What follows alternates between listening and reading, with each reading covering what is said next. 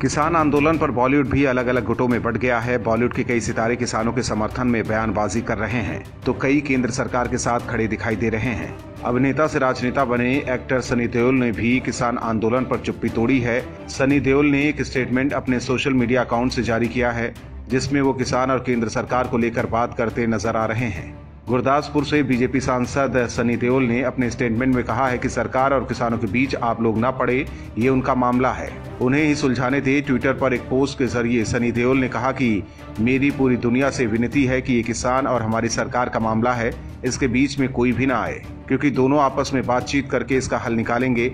मैं जानता हूँ कि कई लोग इसका फ़ायदा उठाना चाहते हैं और वो लोग अड़चन डाल रहे हैं। वो किसानों के बारे में बिल्कुल नहीं सोच रहे हैं। उनका अपना ही खुद का कोई स्वार्थ हो सकता है। सनी देओल के इस पोस्ट का कई लोगों ने समर्थन किया। एक यूज़र ने लिखा है कि ठीक कहा सनी पाजी, कुछ लोग गरीब किसानों को भड़का रहे हैं, झूठ बोल रहे हैं, जबकि ये नया कानून किसानों की भलाई के लिए ही है। मगर कांग्रेस, अकाली, आप और कुछ किसान यूनियन जो कि खुलकर चुनाव में कांग्रेस का समर्थन कर चुकी हैं, ऐसे लोगों की दलाली खत्म हो रही है, इसीलिए तड़प रहे हैं। दरअसल किसान आंदोलन की आग पंजाब और हरियाणा से ही उठी है।